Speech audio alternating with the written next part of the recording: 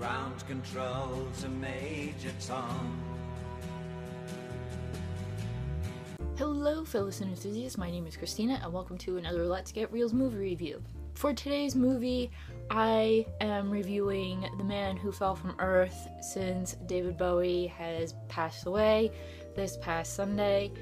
And I wanted to see The Man Who Fell from Earth. I've had it on my computer for a while, and I feel bad that I was finally pushed to watch it, but I know a lot of people are going to be watching Labyrinth, and I figured let me do a different movie because David Bowie made quite a few movies besides Labyrinth and besides the man, the man Who Fell to Earth. But The Man Who Fell to Earth, I've had for a while, so I wanted to watch that.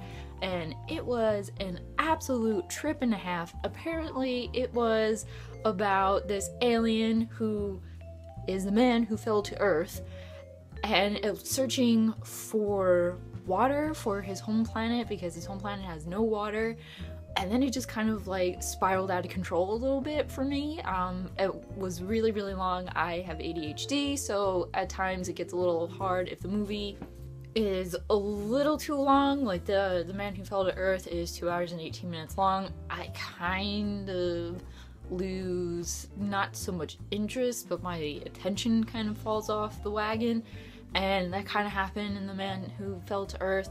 But what I did understand in the movie, it was actually very interesting, and the plot was really good. And then I think there was like, I don't even know if it was in the middle where it was in this movie, but it kind of just got a little too weird for me. Uh, I really, really liked the direction. I thought for a while the story was really good because um, Tom Newton is the name of David Bowie's character, the alien that comes to Earth. He takes the name of Tom Newton. And the way he wants to get water is that he has all these patents for things, for different pieces of technology, very advanced technology, and he makes a lot of money off of that. But he never really gets back to his home planet. At least I don't think they were showing flashbacks of him and his planet and all this other stuff it was just really, really weird. He finds this one girl at a hotel he stays at named Mary Lou, and they live together for a while, and I don't even know what happens. She just falls madly in love with him after a few years. He doesn't love her anymore and he wants to break up with her. She's still in love with him. And then she just gets like to be one of those whiny pain in the ass characters. And I cannot stand that. I hate whiny pain in the ass characters so much. And i feel like a lot of movies in the 70s had whiny pain in the ass characters and it just drove me nuts. I couldn't stand her character whatsoever and the longer the movie went on the more of a whiny bitch she became and i couldn't handle that. David bowie was really good in this movie. I enjoyed his acting. I believe this was his first movie he was ever in. And according to IMDb, some trivia on there, he said that he just went in and did his work and he acted the way he felt that day, what his mood was, and that's what he brought to the acting that day.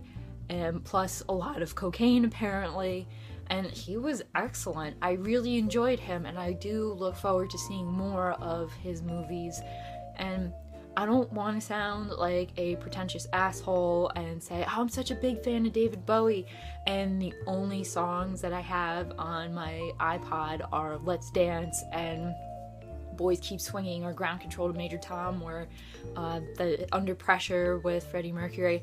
I have a little bit more than that. I do like David Bowie. I love music. I have so much music on my iPod and I'm not gonna say that just because of those few songs that I'm a massive out of control David Bowie fan.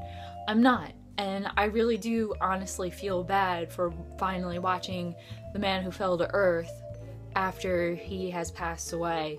I'm really wanted to review this more for my brother Anthony, who was a huge David Bowie fan. He was so depressed and he was so sad. He couldn't believe that one of his favorite singers passed away.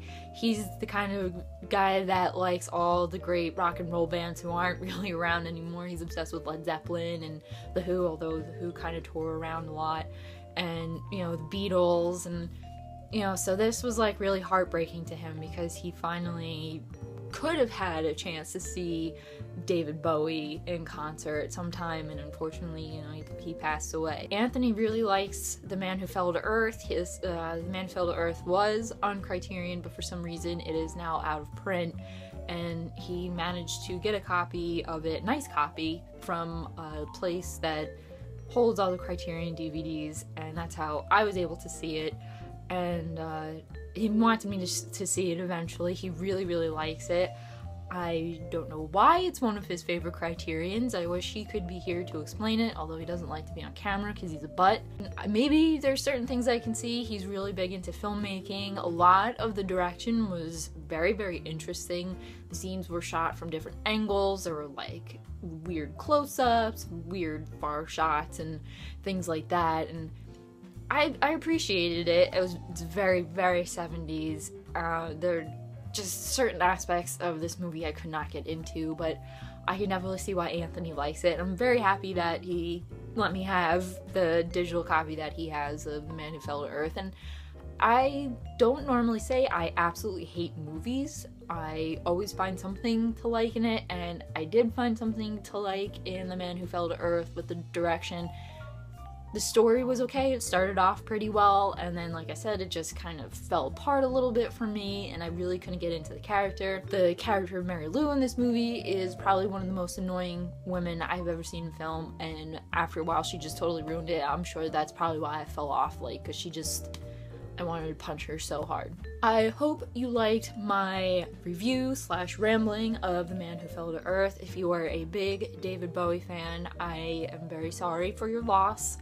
Um, I hope you keep listening to him and his music means that much more to you and even his movies especially his movies mean that much more to you and you appreciate him as an artist and as an actor and all the things that he was able to do for you even if you've never met him. He was just able to influence or you know help you out in some way through his music or his movies if you liked this rambling slash review of The Man Who Fell to Earth in any way, please give it a thumbs up. Leave a comment down below if you have seen this. Let's talk this out because I'd really, really like to talk this out more and see what you guys liked about it. Because maybe, um, well, I'm not even gonna say maybe. I know I definitely missed a lot of stuff. So leave your comments there. Leave what you think of it there. Leave certain things down in the comment section. And don't forget to hit that subscribe button for future movie reviews because that is what I do here. I love to review movies. And as always, keep watching movies and stay absolutely fabulous.